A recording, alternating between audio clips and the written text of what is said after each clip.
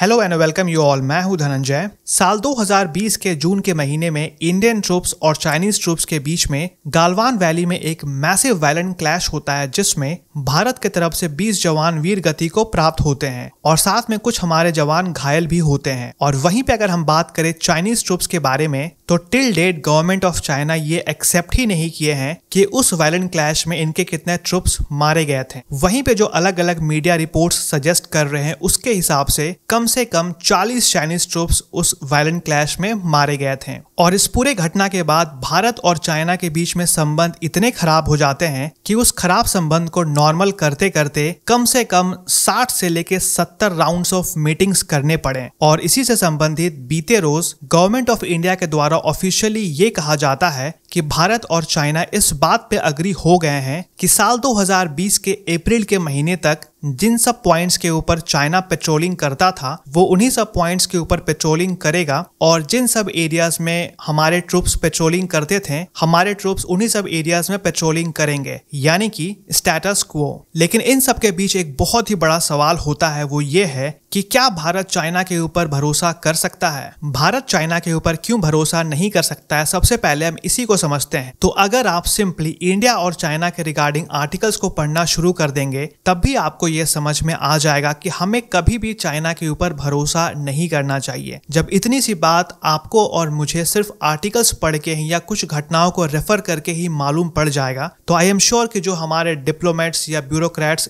Ground पे काम करते हैं, उनको भी ये बात की समझ होगी। और साथ में अगर हम बात करें तो ये भी पॉसिबिलिटीज बनता हुआ दिख रहा कि अगर चाइना किसी भी तरीके से किसी भी पॉइंट पे कहता है कि वो डिस करना चाहता है। तो यहाँ से चांसेस ये भी बनते हैं कि चाइना सिर्फ़ वो काम दिखावा के लिए कर रहा और उसका जो प्लान है वो किसी और एरिया के तरफ़ शिफ्ट हो गया। इसी महीने के तेरह तारीख को चाइना बांग्लादेश में एक नेवी शिप को डॉक करता है। कहने का मतलब है कि चाहे आप बात कर ले मॉलदीव का या श्रीलंका या बांग्लादेश का तो एज एन कंट्री इनका कोई खास वैल्यू नहीं है। इनका जो वैल्यू जनरेट होता है, वो इनका स्ट्रेटेजिक लोकेशन से होता है। अगर किसी भी तरीके से चाइना हमारे क्लोज अधिक आता है तो वो हमारे लिए एक बहुत ही बड़ा थ्रेट पोज करता है।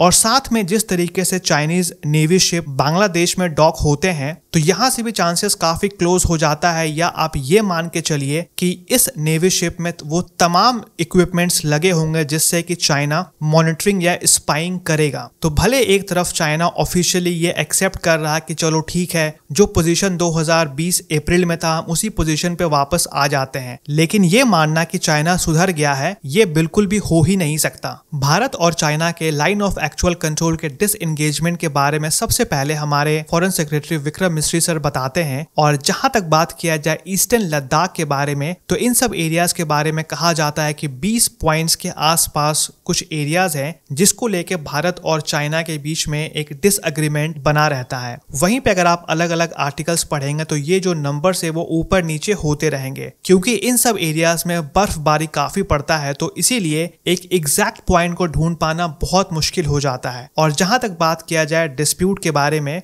तो नॉर्मली आप किसी भी चीज़ के ऊपर डिस्प्यूट रेज कर सकते हैं। और वैसे भी अगर आप भारत और चाइना के बारे में थोड़ा सा एक बिगर परस्पेक्टिव में देखेंगे तो ये बात सही है कि चाइना ऑन पेपर्स या मे बी बहुत हद तक ऑफ़ पेपर्स भी इंडिया से कहीं ज़्यादा मज़बूत है। इसके जो ग्लोबल इन्फ्लुएंस है, वो हमसे कहीं ज़्यादा है। तो यहाँ पे एक बात जो समझने वाली है, वो ये है कि भले चाइनीज़ इकोनॉमी बहुत बड़ी है या इनफैक्ट हमसे बड़ी है या चाइना का बेल्ट एंड रोड इनिशिएटिव है तो हम एक बात को ना भूले कि जब आपकी इकोनॉमी जितनी बड़ी होती है, आपके लिए मैनेज करना भी उतना ही सिरदर्द होता है। और जहाँ तक बात किया जाए चाइना का बेल्ट एंड रोड इनिशिएटिव के बारे में तो ये एक कंप्लीट तरीके से इंफ्रास्ट्रक्चर डेवलपमेंट प्रोग्राम है। और जहाँ तक बात करें हम इंफ्रास्ट्रक्चर डेवलपमेंट प्रोग्राम के बारे में तो ये सारे जो प्रोग्राम्स होते हैं, उसमें इन्वेस्टमेंट खूब लग जाता है और जो रिटर्न आता है, वो काफ़ी सालों के बाद आता है। तो भले अगर आप बेल्ट एंड रोड इनिशिएटिव को ऑन पेपर्स पढ़ेंगे तो आपको ये एक मैसिव प्लान दिखेगा, लेकिन जो ग्राउंड रियलिटी है वो ठीक इसके विपरीत है। जहाँ पे बहुत सारे ऐसे रिपोर्ट्स है जिसके बारे में ये कहा जा रहा कि चाइना के इस बेल्ट एंड रोड इनिशिएटिव के कारण उनके जो बैंक है, उनके पास पैसे खत्म हो गए चाहे हम बात कर ले एलओसी के बारे में या बात कर ले एल के बारे में, ये सारे जो न्यूज़ होते हैं, वो किसी भी देश के लिए काफ़ी सेंसिटिव इन्फॉर्मेशन या न्यूज़ होते हैं, जिसके बारे में कोई भी देश बहुत खुल के बात नहीं करना चाहता है। एग्जैक्टली exactly कुछ ऐसा ही किया गया है हमारे गवर्नमेंट ऑफ़ इंडिया के द्वारा या स्पेसिफिकली हमारे फॉरेन मिनिस्ट्री के द्वारा, जहाँ पे बहुत सारे ऐसे भी ऑफिसर्स हैं जो ये मान रहे हैं कि जिस तरीके से भारत और चाइना के बीच में डिस एंगेजमेंट हुआ, ये एक पॉजिटिव डायरेक्शन में है। जहाँ तक बात किया जाए हमारे प्रधानमंत्री मोदी जी के बारे में तो वो ब्रिक्स सबमिट में पार्टिसिपेट करने के लिए रशिया पहुँच गए हैं। ब्रिक्स का फुल फॉर्म क्या है? तो Brazil, Russia, India,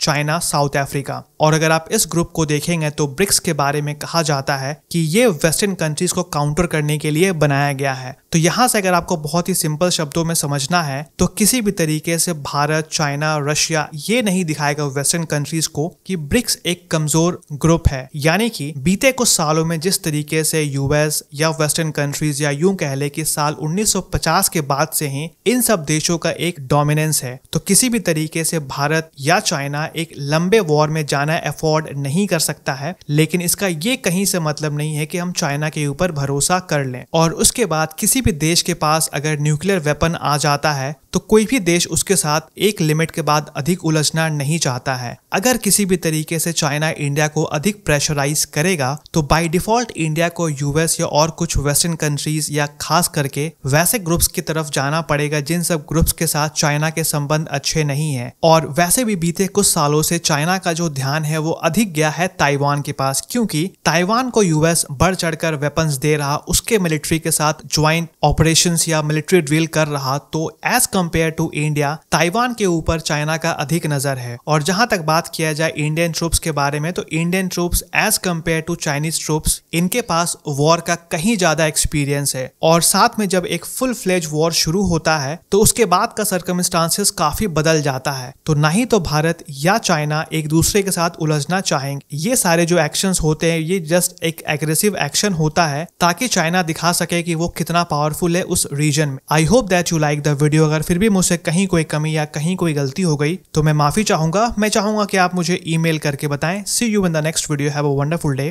thank you take care goodbye